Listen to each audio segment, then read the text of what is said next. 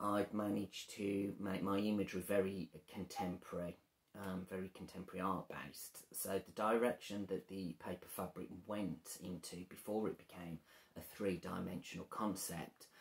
um, I treated it if it was artwork for the wall. Um, now basically what I did was I did produce sample after sample after sample and kept going and pushing ideas and then through selecting and sorted sorted out the best of the best which what had happened was there was a, quite an overwhelming variation in these samples but they all kind of connected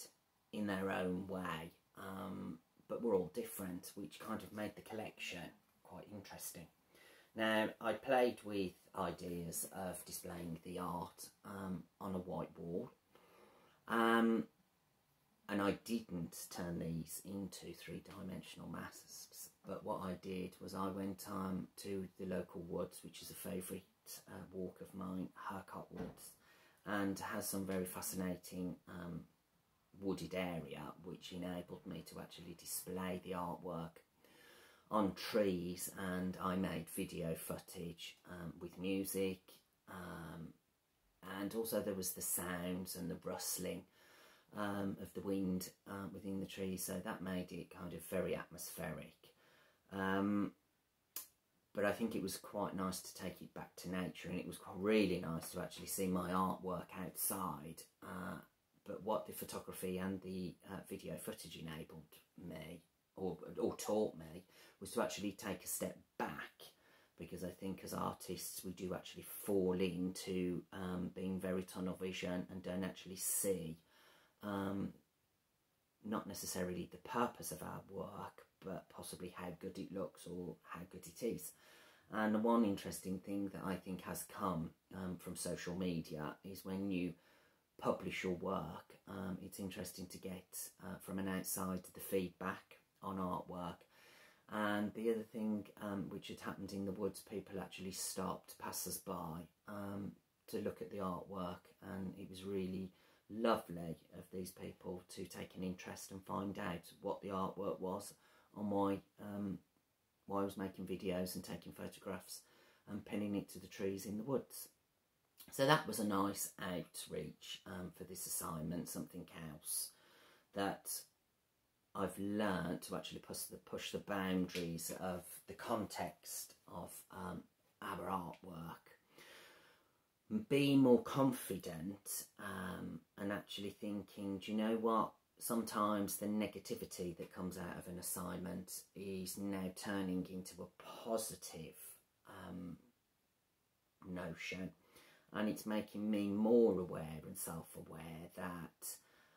I do use tools um, with my learning difficulty with language, but I don't think it ever puts a barrier up against my creativity. I can't always explain why I do what I do with my creativity. It just happens um, in this box of mine. Um, I think I probably lack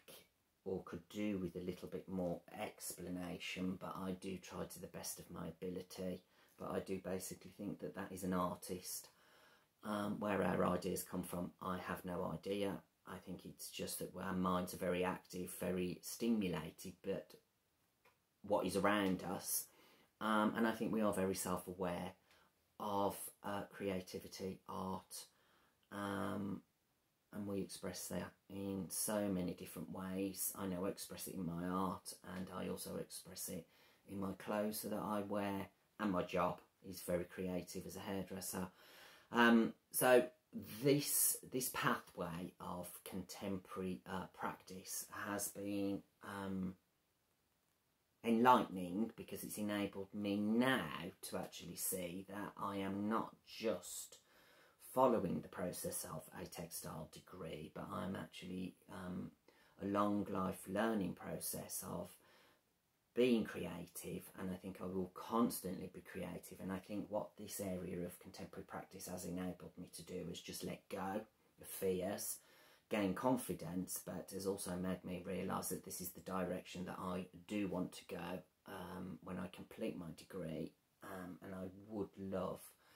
to become a, a, a textile tutor because um, I find it very um, stimulative um, working around the creative members um, and generating stimulative and creative ideas. So all in all, um, to finalise this reflection on this video, um, I will give it the thumbs up